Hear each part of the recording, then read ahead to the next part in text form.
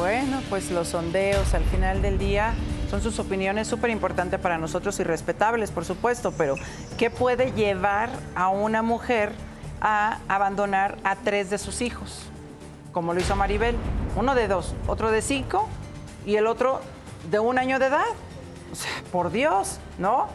Yo no sé qué la pudo haber llevado a abandonar a los tres, pero lo que sí es que los, ninguno de los tres, ni siquiera los más grandes, los tres no quieren saber absolutamente nada de ella, pues porque no tienen ninguna referencia. Ahora, traen historial de maltrato, traen muchas secuelas psicológicas que son súper importantes. Este, yo no sé si les pegaba o no les pegaba a los mayores, pero el chiquito, pues oye, estuvo a punto de perder hasta la vida yo no sé qué golpes se darían y bajo qué circunstancias o situación, pero, pero de, que, de que expuso la vida de ese pequeño, la expuso.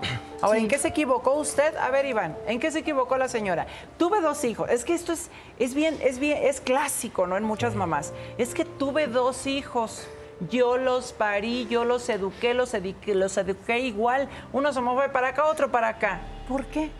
Eh, lamentablemente, y hay un peso cultural, y digo lamentable porque eh, las mujeres en automático sí tienden a hacer esto, a, eh, ponerle a esta forma de educar, ¿no? Como, como si eso fuera todo, ¿no? El educar, en los resultados me salieron mal y entonces yo soy la culpable.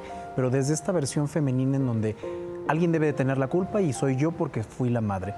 Cuidado con estas formas de interpretación, señora, porque porque es una forma muy inmediata, impuesta culturalmente hacia esta incluso idea del sacrificio, de si no lo padezco y si no me sacrifico, no estoy siendo buena madre. Entonces, eh, la culpa sí puede ser cuestionable, puede eh, eh, pensarse, pero no es lo que tiene peso. Un individuo funciona de muchas maneras en cuanto a su tiempo, en cuanto a su cultura, en cuanto a su historia y en cuanto también a sus propios impulsos.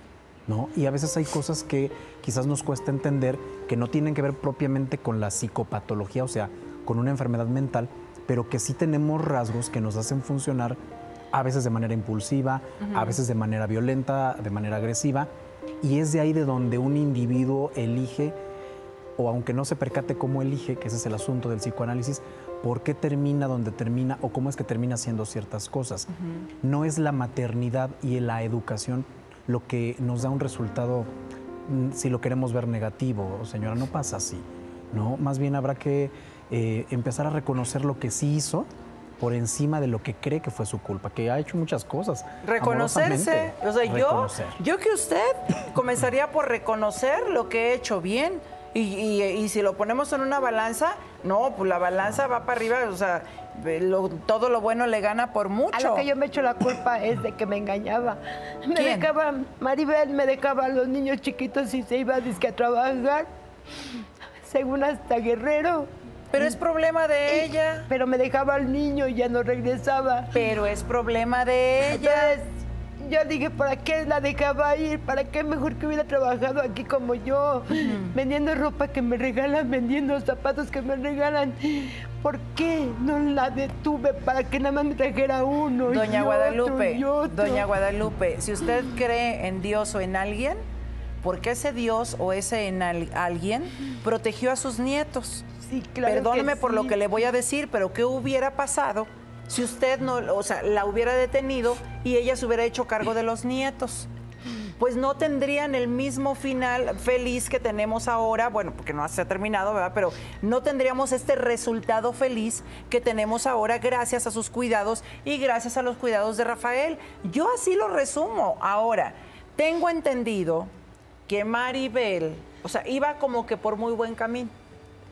Y algo sucedió en la preparatoria que conoce a alguien y este alguien pues se involucra con ella, resulta embarazada de su primer hijo y desde ahí como que Maribel, como decimos este coloquialmente se descarga, cambió, ¿verdad? Cambió, se volvió una mujer agresiva, Rocío. Agresiva. Agresiva. O sea, era, era tranquilita. Ha a mi mamá, Rocío. Estando en el ¿Lo denunció? ¿Lo denunció? Estaba yo sola, me aventó, me empujó. La otra vez me pegó delante de mis nietos y mis nietos la sacaron empujones. Yo sé que yo sola, ¿cómo me, de- me defiendo si no puedo caminar? A ver. ¿quién, ¿quién la sacó empujones? Sus Abigail hijos, sí, y Antoine. Y Antoine la sacaron. Y, vete, Abiga- y vete. Abigail y Antoine, ¿por qué no denunciaron?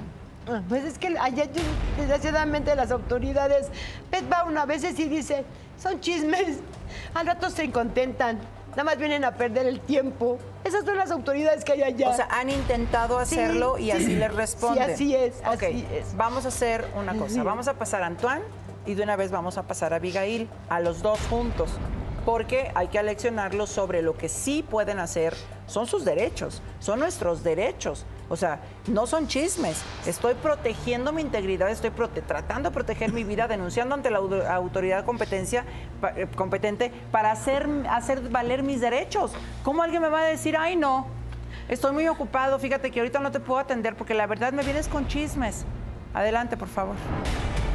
Ya estoy grande y no necesito de mi madre. Ahora sé valerme por sí solo. Ni una perra abandona a sus cachorros. Yo solo tengo una madre y se llama Guadalupe.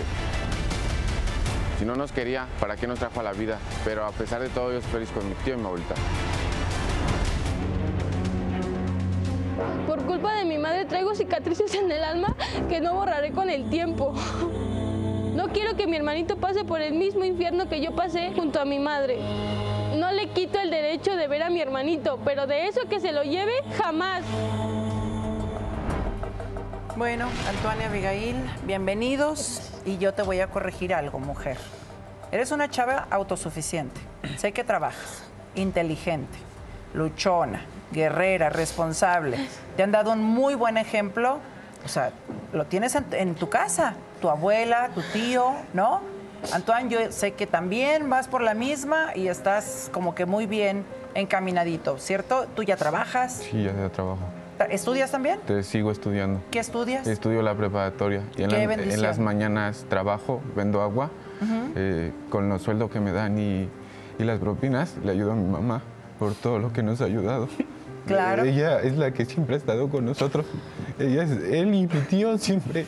Mi tío con esfuerzos tuvo su barbería y con- gracias a esos cortes él, él nos sacó adelante. Tuvimos nuestra primaria. No tuvimos apoyo de mamá, pero mi abuelita y mi tío recogían PET, alambre y siempre estuvieron presentes en la escuela. El día de la madre, mi madre fue mi abuela. Yo siento muy feo que la señora llegue y quiera venir por mi hermano cuando nunca estuvo pendiente con nosotros. ¿La señora es Maribel? Sí, sí, esa señora.